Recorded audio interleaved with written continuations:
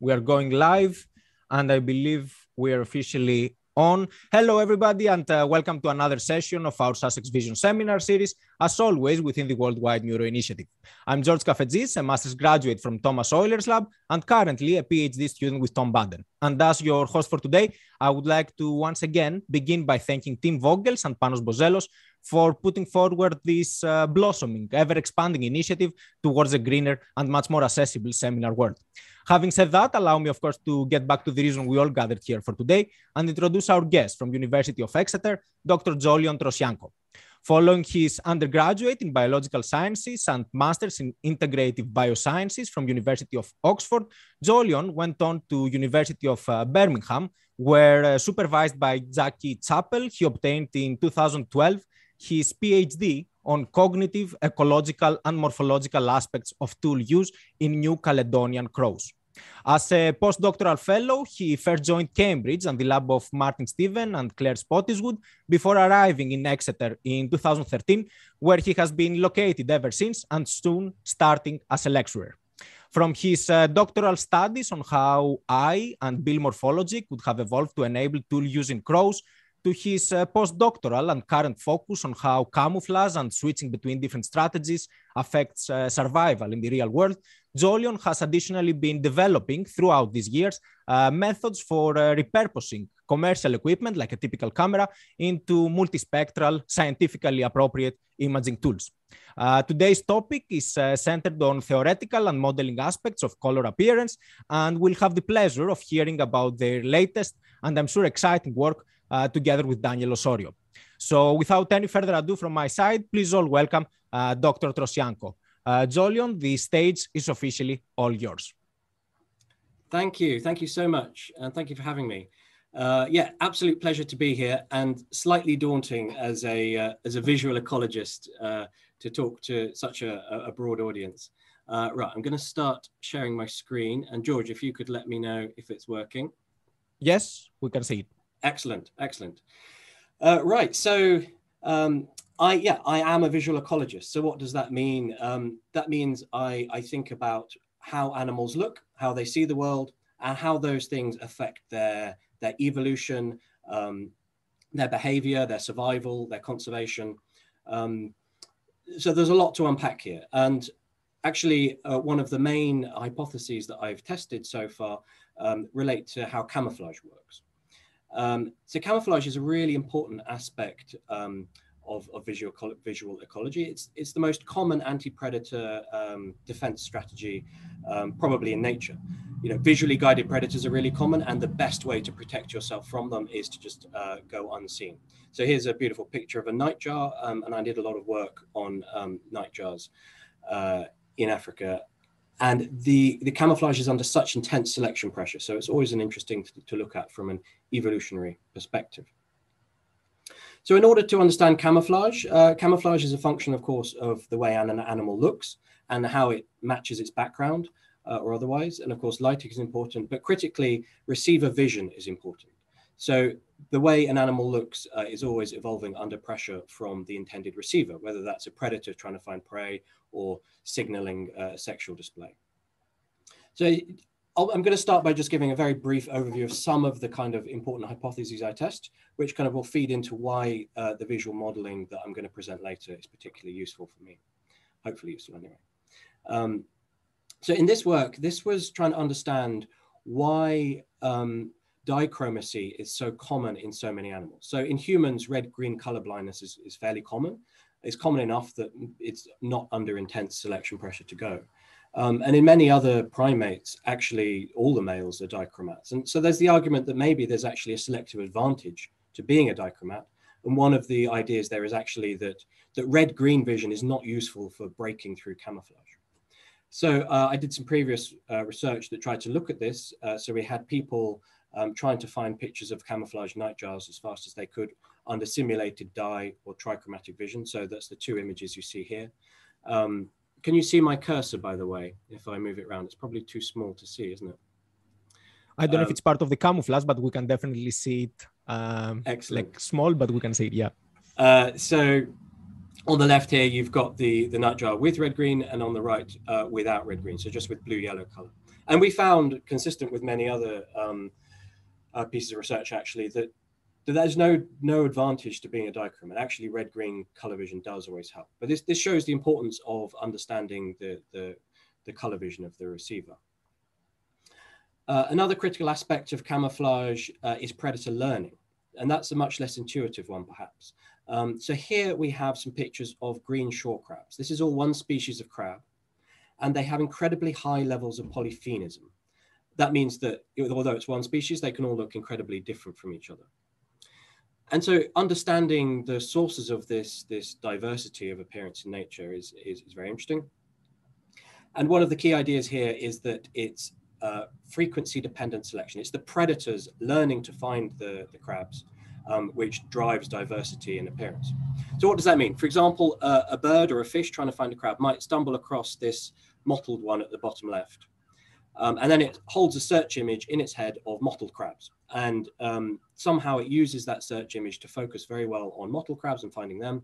But it might just walk straight over the pale crab or the dark crab. So holding a search image for one crab makes you efficient at finding one crab, but inefficient at finding other morphs. So we can test um, theories like this. So this leads to negative frequency dependent selection. Yeah? You want to look different to everyone around you. Um, so a common method that we use um, to test theories like this is simply like online camouflage games. Basically, where's Wally? Uh, people love playing these online games. So you present people a screen like this, get them to find the crab as fast as they can. Um, and unbeknownst to them, we were giving people a series of the same crab again and again. So they'd learn to find one crab. And then we'd switch them to another crab and see how switching interfered with their search image. And this graph shows how easy it was to switch from one morph to another. So at the top of the, the graph, uh, um, on the horizontal axis, you've got all the different kinds of, of, crab morph. So let's say you start by learning a green crab.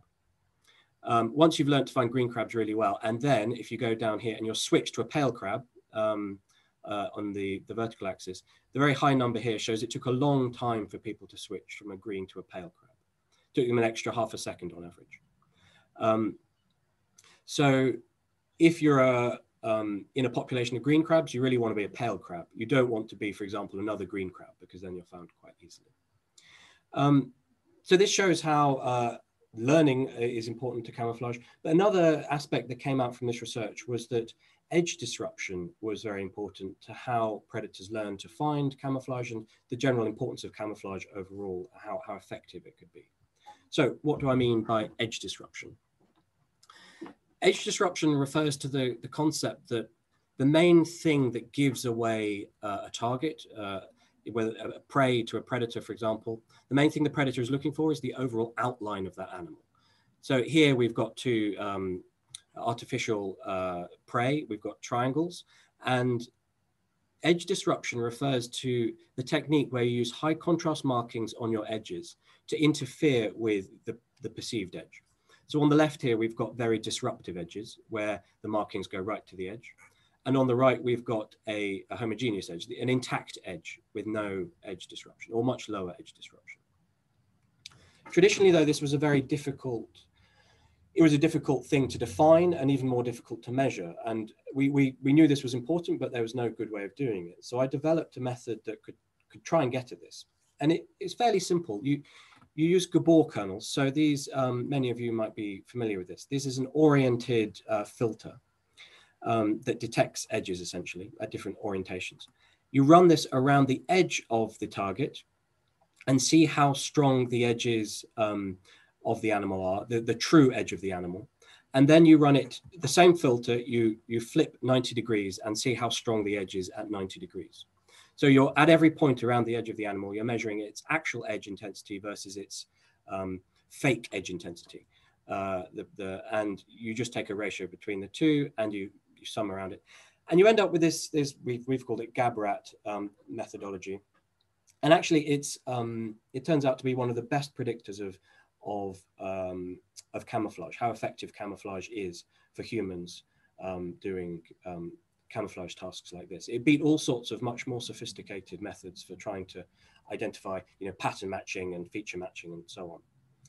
Another interesting thing, though, is um, you'll see the little sigma 3. Um, that was um, actually at three cycles per degree. So the, this GABRAT method worked most effectively when we used a Gabor kernel that was at three cycles per degree. And by that, I mean um, uh, how many cycles you have per visual angle of degree. So if you have a very tiny filter, you'd have lots of fine stripes and a very uh, large filter would be big stripes. Um, so stripes where you have three stripes per degree were the best. And this kind of will come up later as being an important thing. But it also highlights the importance of spatial information in camouflage and visual ecology generally.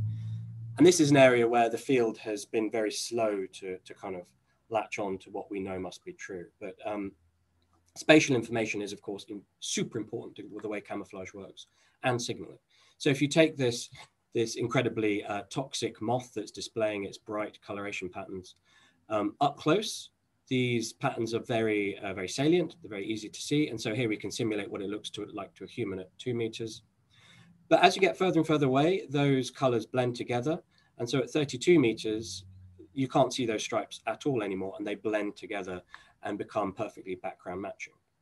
And this is a key strategy that you find again and again in nature. Something can be signaling up close, but actually perfect, perfectly background matching at a slightly larger distance. Um, and traditionally, we, we've only looked at this kind of acuity limit. Um, uh, so this is kind of uh, the state of the art at the moment. Very few people are considering anything more than just the visual acuity uh, limiting the, the, the stripes you can see, for example. But it's very important. Another aspect of the visual modeling I use is, is understanding color detection uh, and, and being able to uh, discriminate colors uh, between objects. So obviously that's important from a camouflage concept, but also for a pollinator finding a flower, making sure that flower stands out uh, clearly from the background. So in this research, um, I'm going to present it was using uh, moths and flowers. So hawk moths, uh, nocturnal hawk moths are actually, they're trichromats um, with receptors sensitive to, to green, blue, and ultraviolet ranges. Um, but incredibly, they have very low light vision. So this color vision of theirs can work down to starlight levels of illumination. So it pretty much never gets dark enough for their color vision to switch off. When it gets past, you know, much past dusk for humans, our color vision stops. We switch to rods. We don't see color. These guys are acting just like bees. They're using the color of the flowers to find um, to find the flowers at night, as if uh, nothing was changed. Um, and they're very important pollinators. They're about as important as bees are for pollination networks. But we wanted to understand how artificial light types interfere with the ability of moths to see these flowers.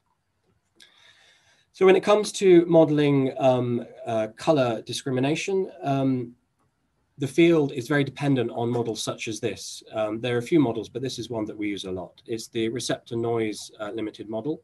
Um, and it's it's incredibly useful because you don't need to know a huge amount about the animal visual system for it to work. So the model assumes that the thing that um, defines detection thresholds is is mostly um, neural noise. Um, this stops you being able to, for example, work out whether two uh, colors are different or not. And you don't need to know a huge amount about the visual system, just its spectral sensitivities and um, cone ratios and a bit of behavioral validation. Um, but it has its limits, um, um, like, like all models do. But we use this model to, to simulate how these flowers might look to a, to a hawk moth under different lights. So here's uh, an example of a foxglove um, to human vision on the left, and then to elephant hawk moth under different light types. Now these images all have the same white balance.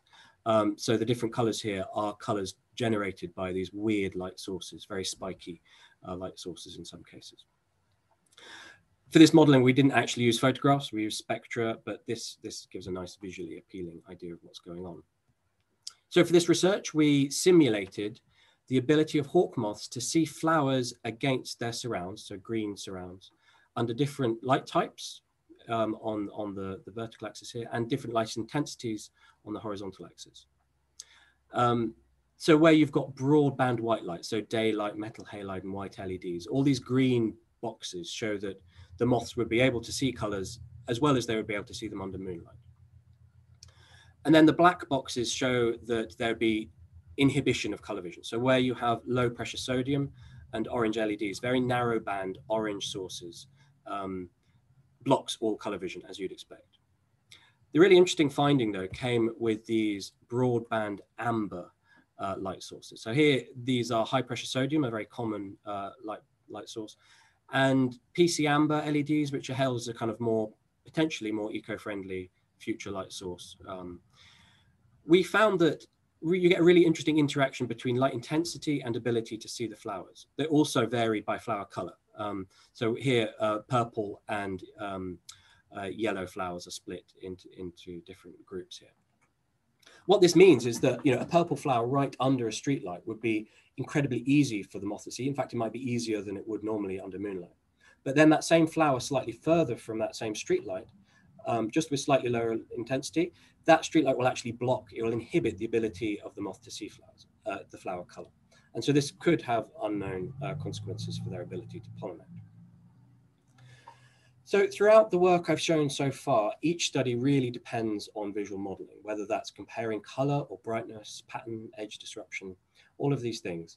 Um, so hopefully uh, this gives you an idea that effective visual modeling is really critical uh, in our field uh, for all sorts of reasons. But there's really quite a big elephant in the room, particularly when it comes to modeling brightness or, or luminance.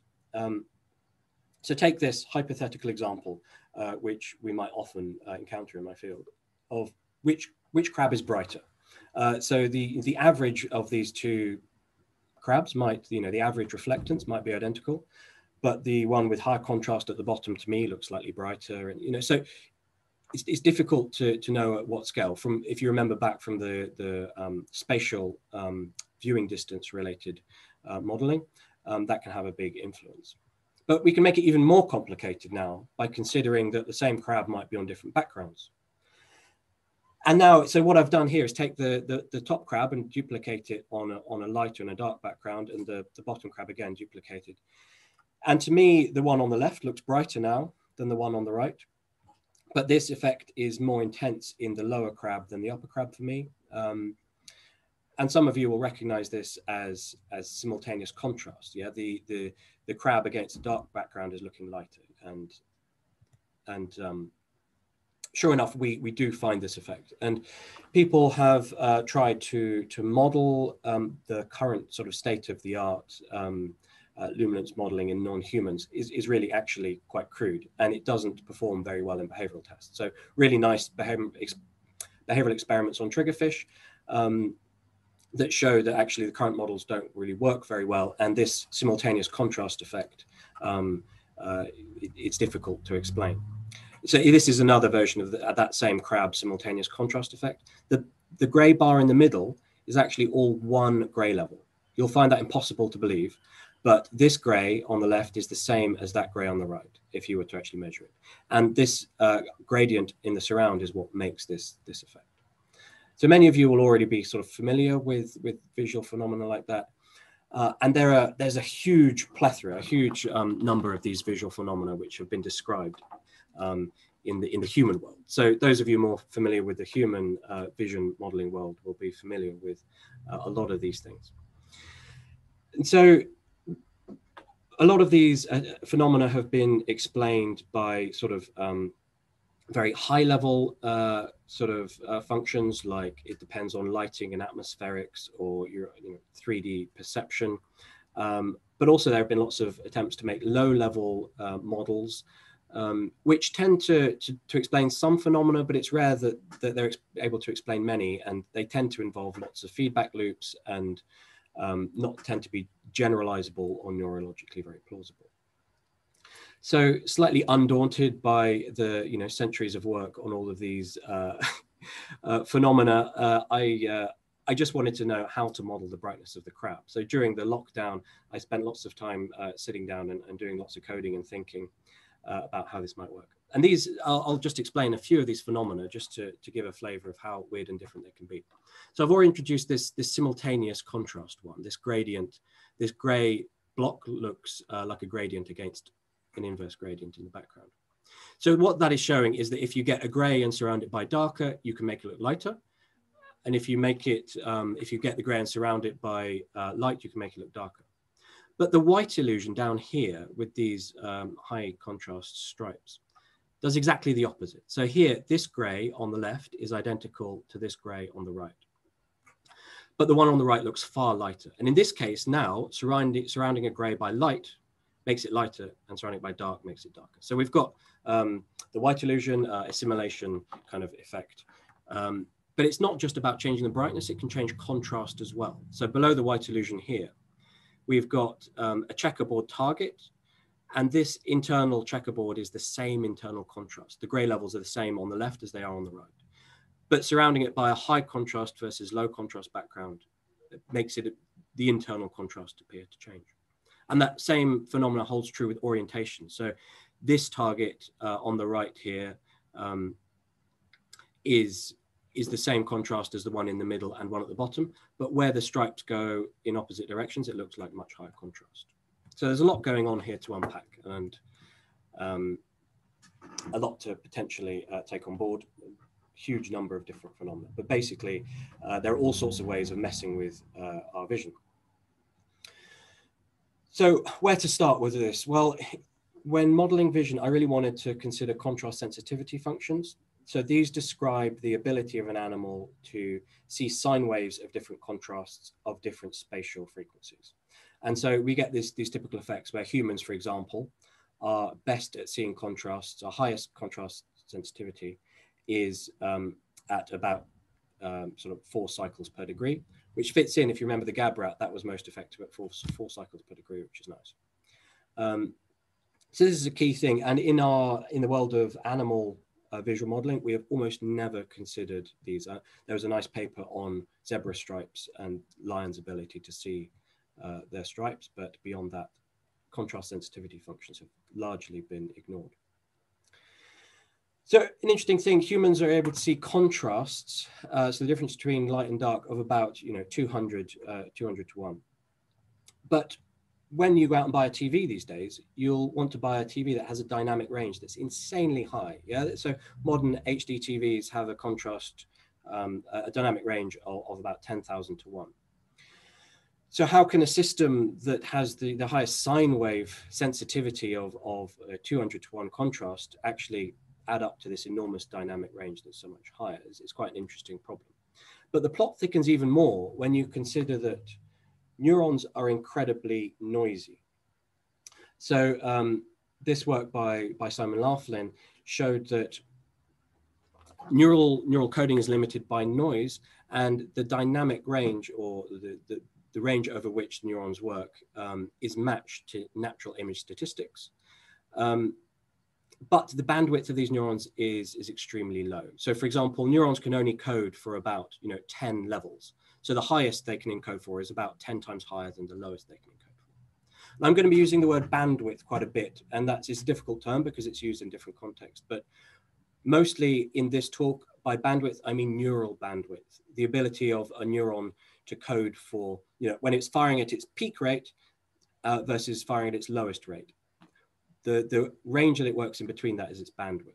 So if you look at um, the range where a neuron is, is operating linearly, that's working within its bandwidth. It must saturate out at some point, and it must have a point below which it can't, you know, it's a zero, it can't fire any slower. So how can neurons that can only encode, you know, 10, uh, 10 levels, a bandwidth of, of 10, um, give us high dynamic range images of, of 10,000 to 1? Why are we going out and buying these HD TVs? Big question there another another important uh, way of considering about bandwidth is is the spatial bandwidth. Um, so spatial uh, images uh, images are normally broken down into different spatial components. So um, this work by uh, David Field uh, is important for showing how you can break down a natural image into lots of different scales. So on the left of the image here, we've got the Gabor filters again, um, at different orientations and at different sizes. And if you use these to break down an image, um, you get lots of information out and you break it down into different um, octave. Uh, generally using an octave scale is sensible um, and breaking the image down into these different spatial components. Um, and bandwidth is often used in the spatial context, but as I mentioned, I'm going to be using it mostly in the um, neural context.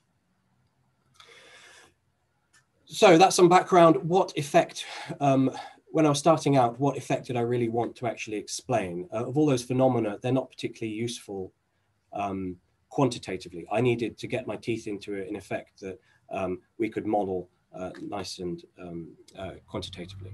And the crispening effect stuck out to me as a really important uh, one to start with. So the crispening effect, here, here we have a row of gray tiles. And that same row is showing three times. So these, these rows are all identical. The only difference is the brightness of the background. The, the, the crispening effect refers to the brightness differences caused by uh, the background. So if you look at the three, um, the three tiles on the left with a dark background here, there's a very big difference in contrast. The difference between this tile and this tile. They seem to be very large contrast differences. Whereas the same tiles against a lighter background, they seem to be very small contrast differences. The step in contrast is much smaller, the step in brightness, sorry. Um, and you get the equal and opposite effect against the light side here. Now, another effect is, is the simultaneous contrast effect going on. So if you look at, uh, take this square, for example, in theory, this, this gray should be identical, but actually to me, this gray looks more like this gray. So we have a sort of diagonal line here of equal gray levels. So background changes the contrast, but it also changes the brightness. You get um, uh, simultaneous contrast effects going on, but you can also get white illusions um, effects going on on this screen as well. So here we've got um, white surrounded by black, and this black actually makes this white look slightly less bright than this white. So we've got simultaneous contrast assimilation and contrast induction or, or, whatever you want to call it, all going on in one phenomenon. So I thought this is a very useful phenomenon to, to start with. And thankfully, there are good um, behavioral data uh, gathered by Whittle um, measuring this, this crispening illusion. So he laboriously got um, subjects to tweak these gray levels on a screen until the gray, the dif difference in gray level between all of these patches looked um, equal. So this is an equal contrast step color space that is made. And the results um, are shown on the graph on the right here. So as this is the luminance that, that um, uh, on, on the x-axis and the equal brightness uh, contrast on the y-axis. The, the really important thing here in this curve, you'll see there's an inflection point. The curve is steepest at the background gray level. So you're really good at discriminating gray levels near the background and it tails off at the top and tails off at the bottom in this kind of interesting way. So here are the main uh, concepts that I wanted to, to draw into this model. Uh, so we have the crispening effect as a quantitative thing. The, the concepts of contrast sensitivity. So we are we can't see certain contrasts. Um, then we've got the, the concept that neurons have a limited dynamic range uh, and a limited bandwidth that they can code for, um, which ties into uh, the dynamic range of the natural scene. But we should also throw in some assumptions here about um, natural scene statistics. So um, this neural um, neural dynamic range has, has been um, it's evolved to match natural scenes, and so they should code uh, natural scenes efficiently. And by efficient, that means that the neurons should be firing um, they shouldn't always be saturating. They shouldn't always be sitting lying dormant. They need to be used across their dynamic range efficiently um, at different scales. And in pretty much all of these areas, I'm sort of wading out of my comfort zone. Um, so thankfully, I've had a lot of help uh, by, from collaborating with Daniel Osorio, who's been uh, really vital in giving me some um, uh, sanity checking and helping with the modeling. So what does the model do? Let's uh, just run through briefly uh, what it does. So you start with an input image that you just split into um, a luminance channel, so a brightness channel, and, um, and color channels, uh, opponent channels, red, green, and blue, yellow. Then you, you split that image into different uh, spatial uh, scales. And you can either do that as visual systems do using center surround, so a difference of Gaussian kernel, or a Gabor, this is an oriented filter that I mentioned earlier. Um, so center surround, you find a lot, you know, from the retina onwards. There's lots of uh, cases where you have center surround um, imaging in, in in the nervous system. What that means is you take this this this is called a kernel, and you you convolve the image with this. You move this kernel around the image at different sizes, and you look at the center versus surround, and you can do that with oriented as well. For the chromatic side of things, there's less evidence of oriented chromatic filters, so we just kept center surround for those rather than a normal, normal convolution, um, I found it was actually important to apply a Michelson contrast uh, convolution at each point. So that means at each point you do a, um, a Michelson contrast of the center versus surround um, when you're convolving the image. That seemed to be uh, quite important. And the output is, is, is shown here. You, you just break the image down into lots of different scales, which hopefully many of you will be quite comfortable with. Then the model considers uh, contrast sensitivity functions. Um, so these describe, as I mentioned, the, the, the smallest detectable sine wave at different spatial frequencies. And you have these for luminance and also for the red, green, and blue, yellow channels. Um, so here I'm showing uh, the contrast now on, on a Michelson contrast level because that matches the way the modeling works. And apologies in this image for the moire effect. So what you should see is um, big bands on the left, and these should get smaller and smaller and smaller on the right um, until you've got very fine spatial frequencies here. But you get all these moire horrid bands. So sorry for that. I've also flipped the axis um, because I've kept the, the axis here with um, contrast sensitivity functions. So people are used to seeing contrast sensitivity functions as a kind of inverted U like this. And so I've just kept that, um, uh, that's, uh, that principle by inverting the, the, the y-axis here. So the first thing the model does is throw out all of the information that is uh, below this activation threshold. So um, the contrast sensitivity function tells you what um, sine waves will be invisible, um, and it just throws out all of those. Um, that should be quite uncontentious, hopefully. But there must also be an upper uh, saturation threshold above which you're unable to code for larger contrasts. So this is, to my to my knowledge, uh, it's something that has not been actually considered in the visual modeling world at all. Um, but it's it's very interesting. It must be true. So here we've got the the output of um, uh, a, a, monkey retinal ganglion cell um, from Derrington Lennie. As you increase the contrast, you have this nice linear region where the, the, the, the neuron is firing faster and faster as you're increasing contrast, but then there must come a point at which they can't fire any faster. You know, there's the there's a physiological limit above which neurons simply can't fire any faster, um, and this must be true of pretty much all um, neurons. Um, so this is an important assumption. And this is where the neural bandwidth comes into play. So this, this brings into the concept that um, neurons are firing, but they do not have a, a, an unlimited bandwidth. There's a point at which the contrast sensitivity function means that they're not firing anything at, at the bottom. And then there's a point at which they, they stop being able to fire at the top. So our model makes the, the assumption, the potentially large assumption, but we need to make this assumption, that the bandwidth of neurons at different spatial frequencies is the same. And if we make that assumption, then the bandwidth um, is uniform, then the dynamic range must scale uh, as a function of activation threshold, contrast sensitivity. So that's what this blue line shows here. If we have the, the activation threshold, the point below which you're not seeing any contrast, then we'll also have the saturation threshold, that point at which the neurons can't fire any faster. And that's shown here. So um, Another way of showing this is with the same image. Um, if we assume that the bandwidth is four, so those neurons can code for um, any number between one and four times that number. Um, then we have a, a, situation like this where the contrast sensitivity specifies the activation threshold and the saturation threshold is four times that. So really interestingly for humans then, you, you have neurons uh, at at the peak of our spectral uh, of, of our spatial sensitivity, this four cycles per degree where we're really sensitive. You have these neurons that are really ready to fire. They're just, you know, tiniest little bit of information and bam, they will fire very quickly. But also, therefore, they will saturate very quickly um, as well. So they've got a limited dynamic range, small dynamic range, but high sensitivity. Whereas at the low and high spatial frequencies, we have a very low sensitivity, which gives this enormous dynamic range. Um, and so this is really interesting, um, combining different dynamic ranges with the same bandwidth.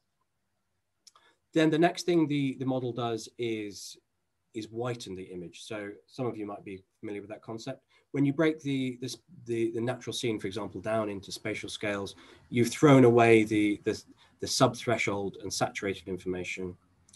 Then you, you whiten the image so that every band, every spatial band has the same amount of contrast going on in it.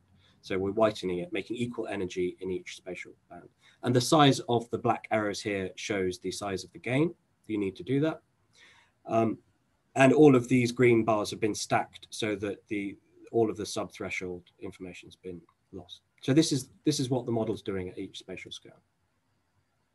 Then the model simply pulls uh, all of these spatial bands back together again, and you get some some pretty funky looking output like this. Um, so this output, I should say, is not been calibrated to look sensible on monitors. This is a, a model of an internal representation in someone's brain. It's not meant to look nice, but but actually you get a really cool image out of it. It's a cross between an impressionist painting and one of those high dynamic range images you see. Um, so walking through this bluebell wood is really disappointing when you you're walking through the woods, this lovely bluebell display, you take a picture of it and you can't see the bluebells. There's just, they're so small. Whereas this model predicts that you've got this beautiful kind of impressionist painting style, you know, sea of blue, which is much more as I remember the scene looking. Um, and it and it shows uh, much higher details in in high contrast parts of the image. You know, you can see into all of the ivy, which is really black. You can see all the leaves. Um, so great, quite interesting output. Um, but there's a there's a key unknown parameter in this model so far, and that is that bandwidth. So in the the image I showed a minute ago, I assumed that the bandwidth was four, just to make graphing it look easy. Um, but that's a pretty much unknown number what we can do is use these crispening data. So what we did is take the um, Whittle's input image that he used um, uh, and, and put all the gray levels that people came up with for equal gray uh, distances between these gray levels. And we, we fitted uh, the model um, to this image uh, and varied the, the bandwidth of the neurons, and the simulated bandwidth. And you get really nice output um, that, um, that was able to match the, um, Whittle's crispening data really well. So the green and the gray lines here show the two flavors of the model using either oriented or non-oriented. Uh, so the Gabor is oriented filters and the DOG is non-oriented filters. Um, and you get a beautiful fit to, to the behavioral data. And importantly, though, you can see what the number is that it gives you. And for the non-oriented filters, it predicts the bandwidth is 15. So really close to that that sort of 10 range. Uh, so Simon Laughlin was doing it on flies and they had a range of about 10. In humans, it's probably about between 10 and 20 um, for um, retinal ganglion cells. So that number is really, uh, seems to make sense. And interestingly, for the oriented filters, we, we tested it using four orientations and you're getting almost exactly a quarter of that 15 number. So 3.75 was the number. So these numbers that it's spitting out seem quite plausible um, in terms of um, neural dynamics. But we can actually test that more explicitly. So here we can go back to the, the Derrington and Lennie data. So these these data were testing um, uh, a monkey um, magnocellular uh, retinal ganglion cell, showing it different sine waves uh, of different intensities of contrast um, at four cycles per degree. And as you increase the contrast, you get this linear range. Um, if we plot it on a linear axis, and it probably should be plotted on a linear axis, um, you get this linear region and then quite an obvious kind of saturating out effect. And our model actually, um, if we fit the model using the crispening data to get that um, 15 to 1 um, contrast, um, those it creates a response curve at four cycles per degree that almost exactly matches um, the Derrington and Lennie uh, testing of, of monkey uh, uh, retinal um, ganglion cell responses. So this green line is our model's um, response, uh, predicted response. And it follows very nicely this linear region and then saturating out. Um, and both, so both Derrington and Lennie and our model uh, predict that at four cycles per degree, the contrast saturates at about 0.2, um, which is quite interesting. Um, so a really striking thing about this model is that it's throwing away vast amounts of information. At least it seems that way. So it's, it's good. Throwing out information is really useful because it's compressing the image quite dramatically. Um, and image compression is, is going to be really valuable for, you know, for processing and dealing, you know, efficient use of, of neural structures. But all of the gray here is, is being lost because it's subthreshold. All of the blue here is effectively being lost because it's oversaturated. How can you throw out so much information without causing some pretty weird effects? Well, actually, one, one answer is that the information isn't quite being thrown out. There's a lot of overlap between neighboring spatial bands. So I can, I can illustrate that with this image here. So if we take this input image, again, apologies for the moire effect, but you've got um, large, uh, low spatial frequencies on, on the left here and very high spatial frequencies on the right, and then contrast low at the top. So a really basic image just to test the, the you know, the, um, the landscape. Um, put this through the model, and here is the different um, difference of Gaussian responses. So low spatial frequency going through to high spatial frequencies. And the color coding on the right here shows which areas, um, in which areas the model is preserving information. So the green is the areas where the model is showing that the neurons are predicted to be operating in that linear within their, their bandwidth, working happily in their operating bandwidth. The blue areas is where they become saturated, and the gray areas is where they're not firing at all. And what you notice actually is that there's um, there's a lot of overlap. There's no single point in this space where um, it's all saturated in all spatial frequencies. There's always a few spatial frequencies that are, are operating at any one time. So if you take if you take this middle section here, down in the high spatial frequencies, you can actually detect contrast there and in the low as well. Um, and this is really neat because this can show you how you can potentially see um, extremely high dynamic range natural scenes or on a high dynamic range TV. How you can actually still see information even by only coding it with neurons that have, you know, 15 to 1 um, bandwidth but it doesn't explain everything. You're still going to be creating um, compression artifacts. You know, you can't throw away all this visual information without creating some odd phenomena. And that is excitingly where all of these things come in.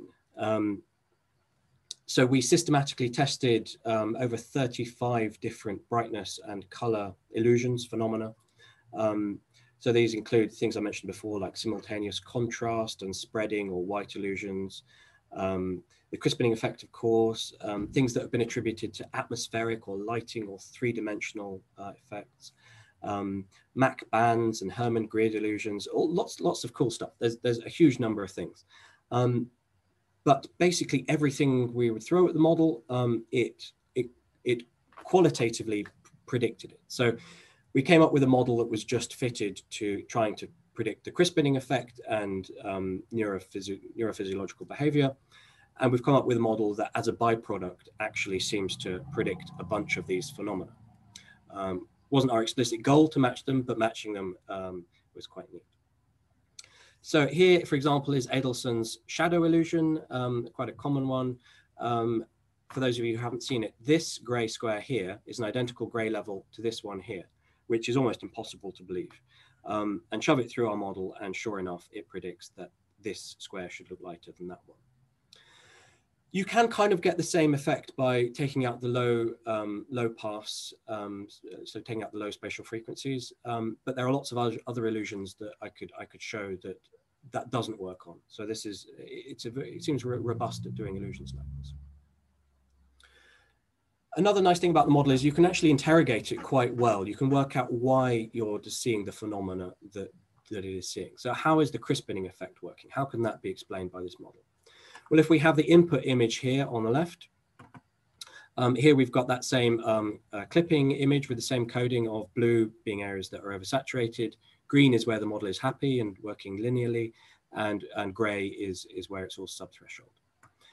Um, the model predicts the effect nicely. It's predicting that the, uh, so this graph is showing the areas of highest um, step in contrast between neighboring grids. And for the black background, it's highest on the left, and for the white background, it's highest on the right. But if we zoom in slightly, we can actually work out how, how this, is, this is working.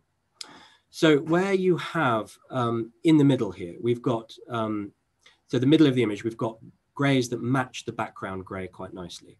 And you'll see here, there's lots of green. So that means that the these grays are working within the dynamic range. The grays are close enough that the model isn't oversaturating. So here at the white end, it's not oversaturating, and here it's not oversaturating, and here a bit whereas we're getting a lot of saturation in other spatial bands. And this varies between the spatial bands. And when you sandwich these things together, it shows why contrasts that match your the background, um, you're better at seeing them because more of your filters are working within their, their bandwidth than otherwise uh, would be at other bands. And so again, this, this hopefully helps explain why we can see these incredibly high dynamic range natural scenes or on TVs. Um, we're, we're, we're splicing together from a bunch of very minimal bandwidth, but very dynamic range um, sensitivities. Um, shove them all together and you, you can actually see a lot of detail um, uh, at incredibly high dynamic ranges. The, I can't pronounce this, the Chevreul staircase um, illusion is a nice one to look at as well. Um, apologies uh, for my French. So the, uh, the idea with this illusion is really neat. You've got um, a bunch of different uh, steps in gray level. So um, this is just a square step down for, uh, from, from dark to light. And if you take this rectangle and flip it 180 degrees, that's what you have here. It looks completely different. It's amazing. Um, now it looks like a series of gradients rather than blocks of color. So how is this working? Um, and sure enough, the model does predict it quite nicely. Here, for example, the, the gray line, you've got the zigzags of gradients, and on the green line, you've got the steps. Um, and it does the controls of this um, illusion quite nicely too. The model explains this illusion because actually the staircase um, and the lower thing here is below your contrast sensitivity function um, at quite low spatial frequency. So this gray here, you see this is gray, you're not detecting the gradient at all here. Um, whereas you are detecting the gradient, even uh, saturating out uh, in the upper one. So this can start to help explain uh, why you get this kind of effect. In fact, it can explain it fully. Now, so, so far I've just been talking about uh, uh, brightness phenomena, um, but it's interesting to talk about color as well. Um, and as a visual ecologist, I'm often taking photos of things, taking spectra of things using a white or a gray standard. Every time you do that, you make the assumption, uh, the von Kries assumption that of, of global um, uh, color constancy. But papers like this and others show that, uh, you know, that's, that's not true. Uh, color constancy um, is a function of local and global uh, effects. And so it's really nice to, to try and get around that because that's a really key part of, of, of imagine how important this must be in signaling. So color constancy illusions, this is a, a, common one, this Lotto's cube.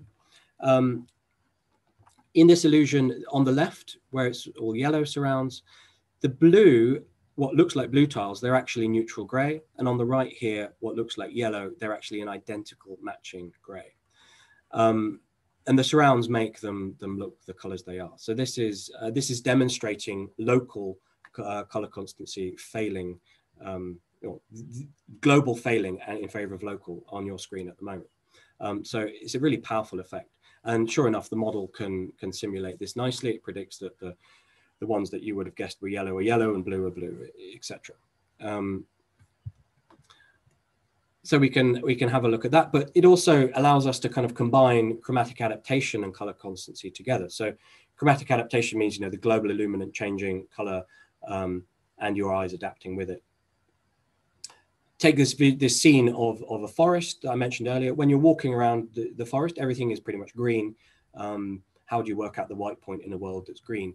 Well the neat thing about this model is this, this is a purely feed forward model. There's no feedback. Um, um, there's uh, uh, there's no point at which any there's local um, um, normalization going on like there would be in a Retinex model. Um, if you multiply the scene, the red channel by five or the blue channel by five, you get pretty much the same output. The, the, overall, the average scene still looks green and the bluebells still looks blue. So this kind of reconciles, hopefully, chromatic adaptation and color constancy with a purely feed forward model, um, uh, which is quite neat and it can explain other chromatic uh, chromatic illusions as well, um, like this uh, Brown and MacLeod illusion, where the these colored squares against a gray background, they're actually the same colored squares are against this checker background. The average of all the, the background colors is the same in both cases, but the ones uh, at the bottom look like more saturated than the ones at the top, and the model can explain this quite well. Um, and it also uh, predicts that you should have these interesting kind of um, uh, uh, effects where the, the top looks more green than the bottom within each rectangle, uh, which is neat. So as a visual ecologist, I'm really interested in models that I can use for non-humans. So humans are, obviously have the best data, but um, for me, I often want to know what the, the, world looks like to a bird, for example. And if you look back at this contrast sensitivity um, uh, graph, you'll notice how birds have so much lower contrast sensitivity than humans. Yeah, this is about 10 times lower um, peak contrast sensitivity than humans. So what on earth would the world look like to them and how would our model look for them? And so that's another, hopefully, if the model is generalizable enough, we'll be able to adapt it to work with, with non-humans. Um, and if that's the case, then the world really does look quite dramatically different to them. Take this, this quick example of, uh, of that moth. human would see much more detail than the kestrel, but those warning colors are actually sticking out nicely to the kestrel. And you can even look at distance dependent effects. And with the kestrel, from further away, the distance dependent effects would be probably much more powerful for the kestrel. And you see it's losing, it's washing out all of the high contrast information um, from behind, like where it gets darker. Can't see into the dark bushes at all. So to summarize, this model uh, that uh, we've developed, it tries to integrate crispening effect and contrast sensitivity to have a, um, a, a, perceptually uniform color space that also um, takes into account the fact that neurons have a limited dynamic range and uses spatial information um, uh, to work with that uh, and, and, makes assumptions relating to um, coding efficiency. Uh, squeezing all this information with, through neurons with limited bandwidth. And there's a chance, hopefully, that these are very generalizable principles and that therefore we will be able to use, adapt this model for use in non-humans as well. So I, I really don't want to sell this model as a unifying theory of vision. You know, um, no model can ever do that. And um, no model is correct and, and some are useful is, is the mantra that we should all adopt. But being based on principles of, of efficient coding, hopefully it does make it quite universal, um, which remains to be tested. And it does reconcile uh, all of these weird phenomena with perceptually uniform contrast space, um, which is quite unique. Um, it's super, super fast. Like neurally, the model can be predicted with a single layer of neurons. Different weightings of input, bandwidth limiting of the neuron itself, and then different weightings of output is all this model ever needs. So it's somewhat neurologically plausible. Um, but there are, of course, limitations to the model as well. It makes a few assumptions. Um, the key assumption that we don't know whether um, bandwidth is uniform and that dynamic range therefore shifts with spatial frequency. So that'd be really fun to, to find out. And we need a lot more parameterization. We need more behavioral models to work out what's going on with the chromatic side of things. So that's it. Thank you. Thank you so much for listening. And I would be very happy to take any questions. Thank you very much, uh, Jolyon, for this uh, lovely and uh, I have to emphasize that very clear um, presentation. Like for someone that is not so familiar uh, with uh, the field of modeling, the color appearance, uh, I have to admit that I understand. I understood quite a lot. I already went ahead and I posted the Zoom room link at the chat, so people can join us already. Uh, and as a reminder to the audience, I will be stopping live transmission maybe in five minutes from now. Uh, so first question that I have is, um, I will start with the fact that you mentioned that this model is a purely feed-forward model. Is it like uh, there are three different questions, but like the first one is like, is it surprising to you that uh, you can explain different illusions with just having a feed-forward model? Like, would you expect some sort of I don't know, feedback would be necessary, like for example, for the time scales of you know these phenomena and how well, they occur. So fee- feedback is so so common models at the moment of that work with you know chromatic adaptation, things like the Retinex model. They'll apply apply um, effectively local normalization against a local maximum. So that's you know local. You need a divide by number there. So you you divide a color by its local maximum um, to get Retinex style models, and and they work quite well. You know.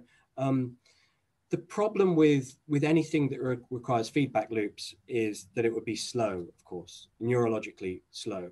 Um, and there's quite good evidence that you're able to see these um, um, uh, these uh, uh, color constancy effects really quickly, like so fast that there would be limited time for you to have lots of feedback loops going on at a neural level. Um, so yeah, I found it. I found it surprising that you could have a feed forward loop that always suggested that a green forest was green, even if you give it a red input. I, I find that odd. Uh, how can how can that how can that be so? But it does. It's neat, um, and you can explain how that works.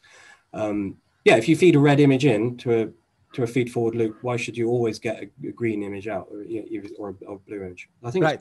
Which takes me to a second question. So, in your model, uh, you say that for different spatial frequencies, you have the same uniform bandwidth.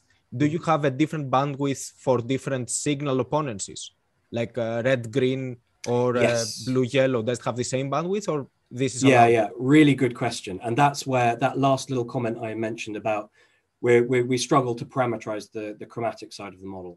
So what we need is, um, so in short, no, we assume that they're different. Um, we assume that they're quite different. So we assume that the bandwidth, let's say, we could measure the bandwidth using the crispening data for luminance, but when it came to chromatic data, we don't have chromatic crispening data. Uh, there are crispening data, but they're not the right kind that we would need. So we did an arm-wavy assumption based on um, processing of natural scenes to come up with sensible numbers, but they do need behavioral validation. So no, the, the numbers that we ended up using for chromatic side of things were much lower. Um, so for example, about, you know, five or, or so, uh, bandwidth mm-hmm. about five. Um, because if the, if the bandwidth was much higher than that, then the neurons would never be saturating in, an, in, an, in a natural scene. And that is not very efficient. I see.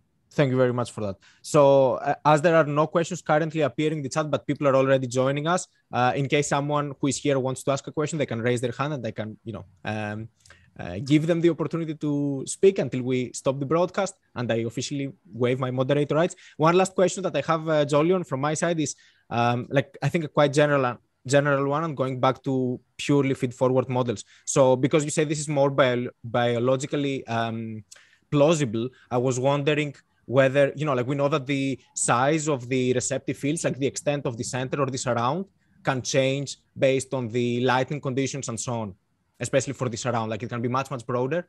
Um, do you account for this in your model or would you think this would be important to account for in future attempts to improve it? Absolutely. Uh, so we have not accounted for that. We've just used the standard standard assumption of the surround being what is it 1.6 uh, times larger. Uh, so that would be that would i'm sure dramatically change stuff. Um, uh, and it's easy for us to to simulate what what would what effects that would have but there are yeah there's a number of parameters there uh, such as that, that that you could tweak but for simplicity we've just started off by our rationale was what is the simplest model we can come up with um, that does the job rather than we you know we can add layers of complexity later but starting with the most parsimonious, the most kind of generalizable model. Because particularly I'm interested in doing that for, for non-human vision. I want something I can use for uh, for, for a non-human where we know so much less about the visual system itself. Of course, yeah, and like I have many questions about aquatic animals as well. But given that yeah. some people might be shy and don't want to appear live and ask their question, I will be stopping the live broadcast now so you know we can have like a more informal uh, chit chat with people that are here and i would like to thank you once again uh, jolyon for this uh, wonderful talk and for honoring us and giving uh, a talk in our series thank you very much pleasure thank you so we are officially offline